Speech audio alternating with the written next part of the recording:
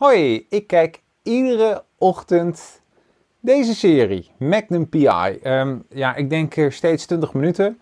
Dus eh, voordat ik eh, de hond uit ga laten, heb ik onder zo'n draagbare DVD-speler. En als ik mijn kwark opeet, dan lekker 20 minuten genieten van Magnum PI.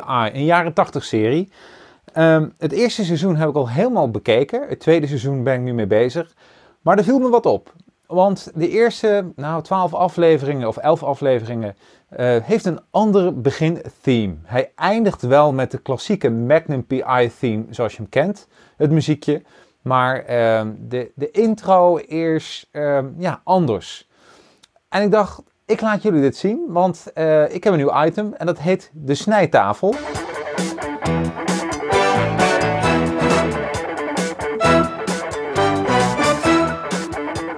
Ja, en een nieuw item, de snijtafel. Wat doe ik? Ik rip deze dvd's die ik gekocht heb. Want dat mag, je mag een thuiskopie uh, hebben. Alleen, het is niet echt een thuiskopie. Als mij iets opvalt, dan, uh, dan uh, laat ik hem in mijn video editing programma om iets aan te tonen. En ja, vandaag neem ik jullie mee naar de intro van Magnum PI. Ja, als je even gaat googlen, Google is je vriend.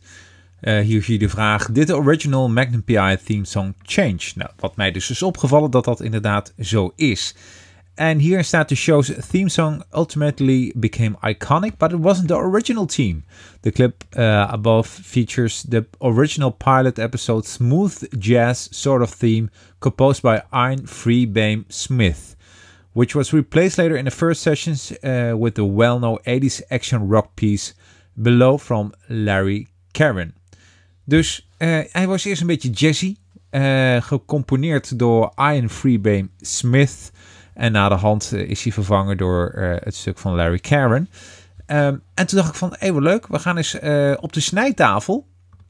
Ga ik eens, ze alle twee even neerzetten. Ze zie je hier alle twee staan. Ik heb hier twee tracks onder staan. Ik laat je eerst even een stukje horen met de titelsong en het filmpje.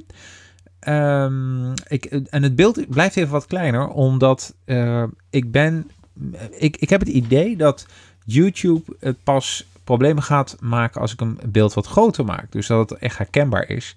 Dus ik probeer hiermee een beetje te omzeilen dat we met, uh, met alle rechte issues zitten. Want uh, nou, ik laat jullie natuurlijk helemaal niets zien of horen wat meteen geld wegneemt. Sterker nog, ik vind dat jullie allemaal die box moeten kopen.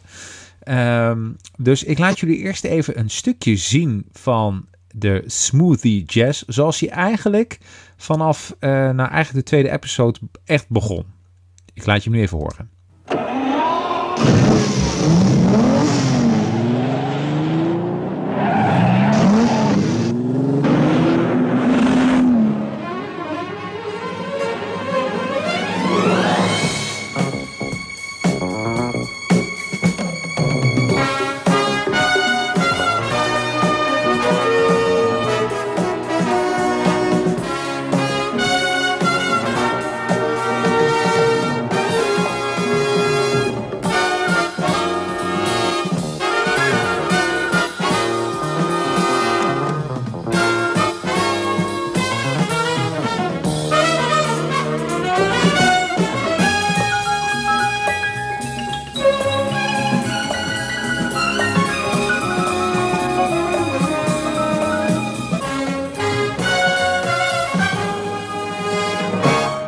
Ja, dat is eigenlijk uh, de originele. Dus uh, tot de twaalfde aflevering heeft hij inderdaad zo gespeeld. En uh, ja, toen is het niet meer voorgekomen. ik laat je ook even de originele horen. Niet helemaal, want daar heb ik een ideetje mee. Of ik doe het wel. Wacht maar even. Disable en deze track ga ik even enablen. Dan hoor je nu de... en hoor en zie je de aangepaste clip zoals hij eigenlijk was. Uh, te, vanaf de uh, twaalfde aflevering. Dus zoals jij hem misschien het beste kent. Want zo is hij al die acht seizoenen actief geweest. Here we go.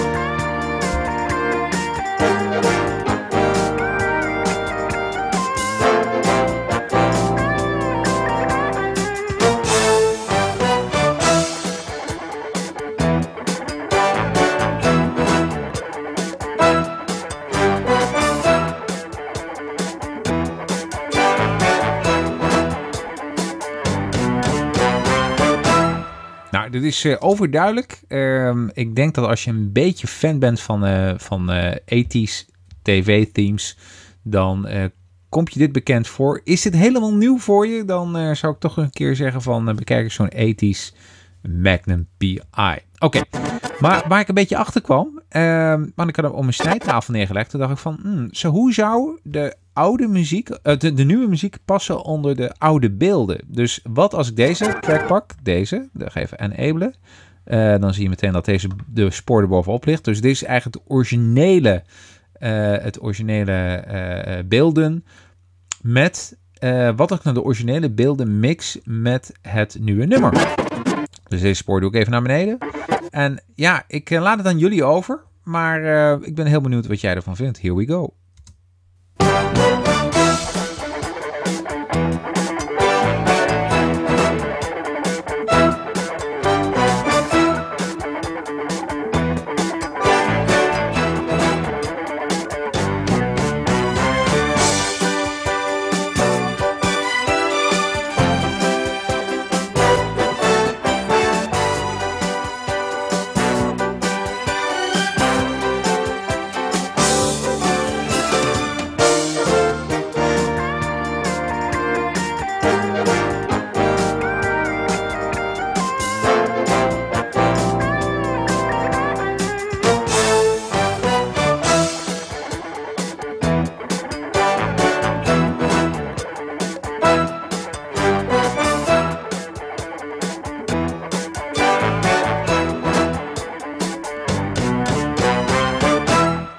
Bizar, hè? Dit vond ik dus echt zo'n ontdekking.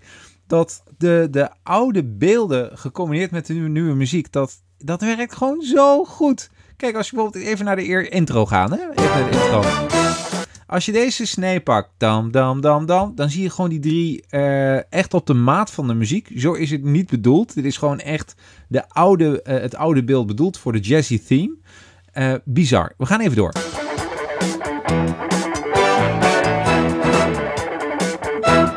Eh, hoor je dat? dat? hij dan overschakelt, dat je dan letterlijk ziet schakelen. Uh, dus de, de maat van de muziek klopt gewoon bij de beelden. Ook dit. Eh, je ziet gewoon bij alle, uh, ja, bij alle geluiden, dum, dum, dum, dum, zie je de banden en opeens rijdt de auto. En ik, blijf je gewoon beseffen, dit is gewoon niet de bedoelde beelden bij, bij het nieuwe thema.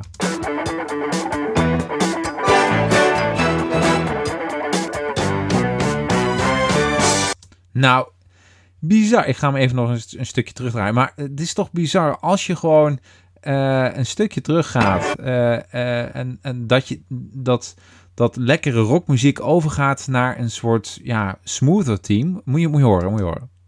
Dan gaat hij weer. Nu komt. Dit is toch... Vind je dit niet bizar? Dat, dat dit past er toch gewoon bij?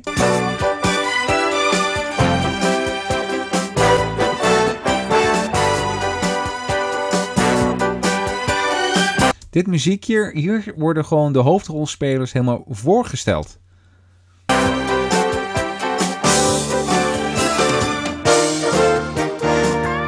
Ja, dit, dit vind ik ook een heel mooi stukje, want nou hoor je een gitaar. Zo'n, uh, en met een gitaar gaat dan uh, het, uh, de helikopter naar beneden. Moet je maar eens horen. En dat past er ook weer zo goed bij.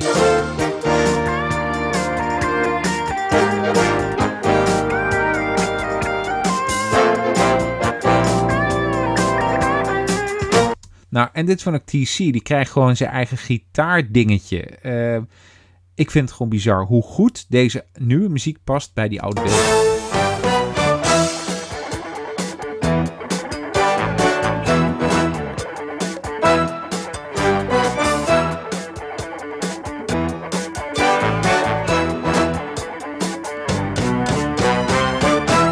Nou, jongens, uh, bizar. Wat bizar, hè?